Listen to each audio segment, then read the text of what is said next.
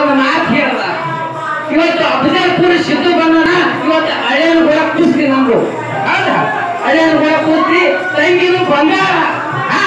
ತಂಗಿ ಕೂಡ ನೀನು ಜ್ಞಾನದ ಕುಸ್ತಿ ಹಿಡಿಬೇಕಾಗಿತ್ತು. ಒಂದು ಮೂರು ವೇಳ ಈ ಸಂಬಂಧ ಇವತ್ತು ದಿವಸ ಇಲ್ಲಿ ಟೈಮ್ ಕಮ್ಮಿ ಅದ. ಯಾಕಪ್ಪ ಕೇಳಿದ್ರೆ ಎಲ್ಲರೂ ಈ ಭಗವಂತನ ಸ್ಮರಣೆಗೆ ಬಂದಾರಪ್ಪ ಅಂತಂದ್ರೆ ಭಗವಂತನ ಸ್ಮರಣೆನೇ ಮಾಡಬೇಕು ಇವತ್ತು ನೀನು ಕುಬಿಗೆ ಎಷ್ಟಪ್ಪ ಅಂದ್ರೆ ಏನ್ ತೀರ್ಸ್ಕೊಂಡ ಇವತ್ತ ಏನ್ರಿ ಏನ್ರಿ ಇವತ್ತು ಹಾಡೋದನ್ನು ನಾನೇ ಮಾತಾಡೋನು ನಾನೇ ಹೌದಾ ನೀ ಬಂದ ಹತ್ತದ ಬಂದ ಪುರಾಣದ ವಿಷಯ ಹಾಕಿದ್ದನ್ನು ನಾನೇ ಏನ್ರಿ ಹಾ ಬಿಟ್ಟಪ್ಪ ಅಂತಂದ್ರೆ ಮುರುಘಾ ಚಂದ್ರು ಮಾತಾಡ ಅಫಜಲ್ಪುರ ತಯಾರ ಮಾಡಿಬಿಟ್ಟು ಹೋಳಿಗೆ ನೀವು ಅದಕ್ಕ ಹೆಚ್ಚಿಗೆ ಮಾತನಾಡೋಣ